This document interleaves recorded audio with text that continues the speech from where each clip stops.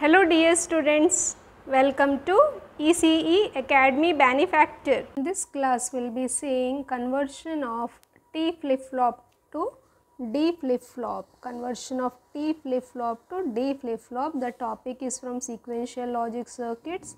The subject name is digital electronics.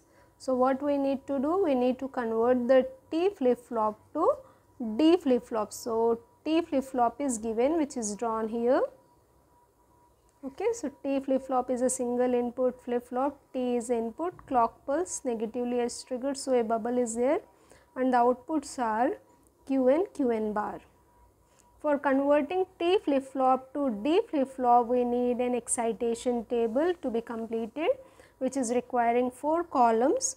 Input input present state next state flip flop input. Okay so what is the input? We are converting T flip flop to D. So, now this D becomes the input.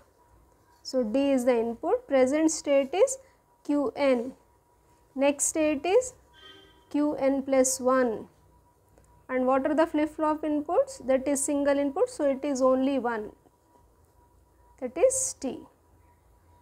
To complete this table let us write the binary combinations first for D and Qn. So, two variables, four possible combinations 0, 0, 0, 1, 1, 0, 1, 1. Now, we need to write the truth table for D flip flop and you know it is very easy to write the truth table of D flip flop because whatever is at D is going to appear at Qn plus 1. What is D? D stands for delay so, output is going to be same. So, D Qn plus 1 will be 0 means 0, 0, 0, 1, 1, 1, 1.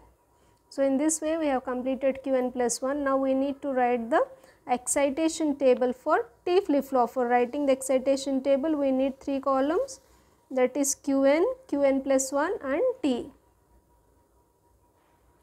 So, when T stands for toggle 0 0 no change. So, T will be 0 1 0 there is a change. So, T will become 1 for 0 1 there is a change of state. So, T will become 1 for 1 1 there is no change. So, what it will be no change means 0. So, whenever there is a change T becomes 1. So, first we have written the truth table of D flip flop and then we written the excitation table for T flip flop. In this way we completed the excitation table now we need to simplify the K map for this T variable. So, for simplifying the T K map we need to draw a two variable K map between uh, D and Qn. It is a two variable D and Qn 0 1 0 1.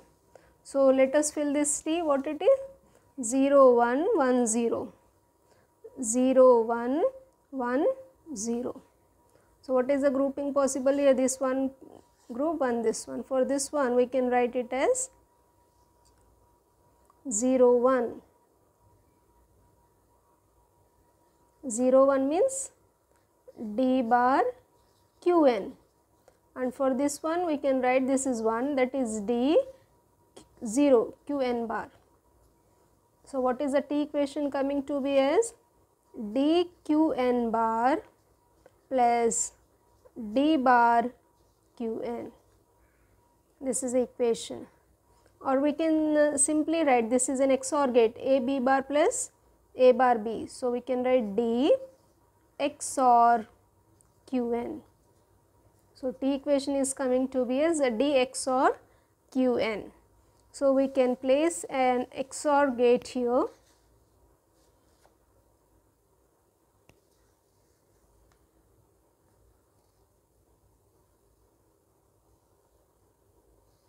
an XOR gate.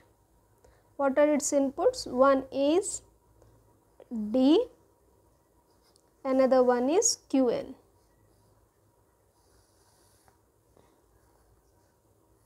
So, we need to darken this point to tell that it is connected.